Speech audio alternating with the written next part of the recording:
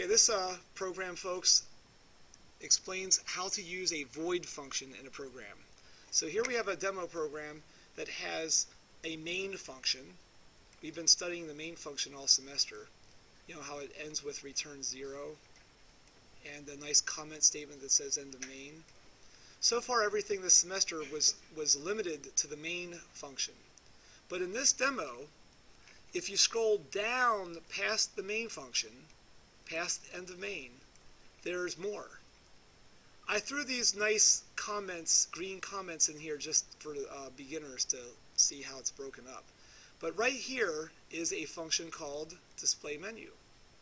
And here's one that has a name display receipt. Functions, like variables, should always start with a lowercase first letter. And if there's a second word or more, it should be capitalized. Functions, just like if statements and loops, need a set of parentheses. And uh, functions have this word void, and sometimes other words are in front of the name of the function. We'll get to that later. And functions also have a body to them, just like an if statement or a loop. In this case, the body is four lines of code here, and they're indented for good style. And all functions should have a nice little end of message at the end so that fellow programmers know where one function ends and the next one begins. Anyway, this CPP file has three functions in it. Display receipt, display menu, and don't forget about main. Main always has to be there, and you must spell main, M-A-I-N. It's the rule. Okay, well, here's how it works. In this program, after you declare your variables and present the loop, uh, start the loop, Instead of couts that see out the menu right here in the body of main, we have what's called a call statement. This line of code, display menu, empty parentheses, calls a function. In other words, it tells a function to, to do its job. To find that function, you, the programmer, have to scroll way down here to find a function named display menu. If it's not there, we have problems but in this case, of course, it is there. So the program executes these four cout statements, and then it jumps back to where the call statement was. And it picks up where it left off, up in the main function. So really, a call statement is just a way of dividing your code up and putting it somewhere else in your file. It breaks up complicated chunks of code it allows you to focus on different things in different sections. It helps you divide the labor amongst different programmers. One guy's job might be to uh, display the menu. Another person's job might be to write the function called display receipt. Another person might have an accounting background. His job might be to compute tax. Uh, another person, her job might be to deal with user interface. So she has a function called like get user inputs. And uh, just like building a house, you have somebody who, who uh, excavates the hole for the basement, another person who builds the wooden frame of the house, another team of people who probably put the roof on, subcontractors they're called. We have functions that act just like subcontractors. So this is a call statement, and uh, it just tells the computer to stop right here and go down to the display menu function, execute it, and then come back up and pick up where it left off.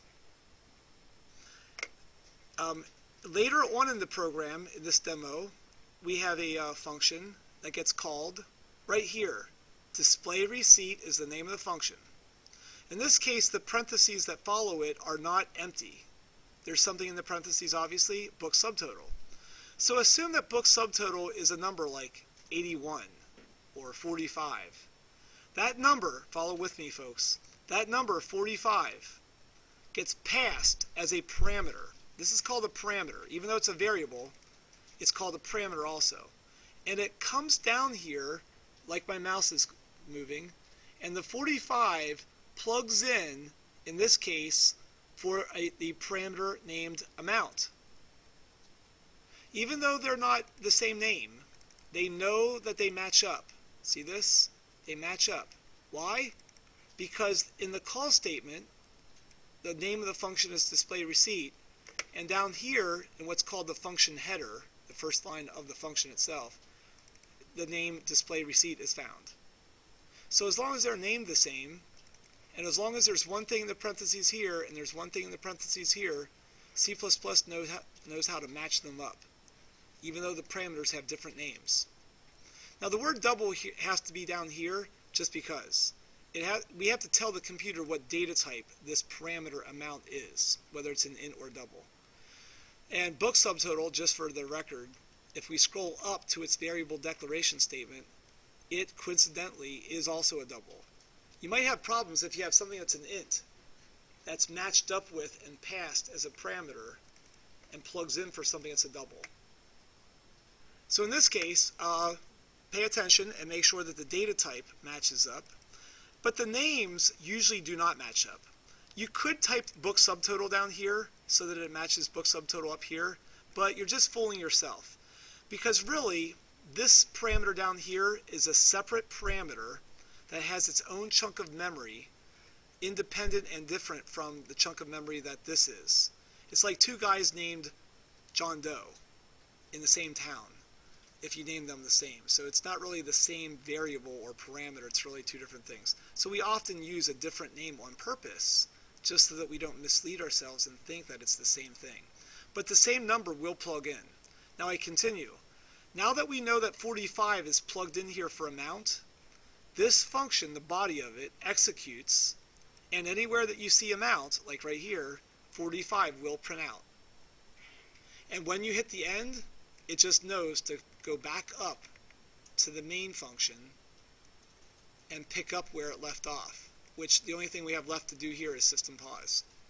End of story.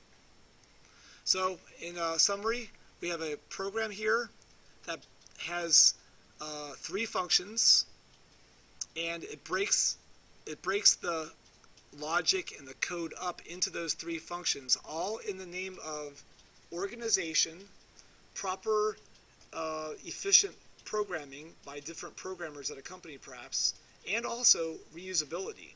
You see other computer programs like other CPP files could also make use of these functions. And that's a great thing also that I'll stress in a later uh, demo.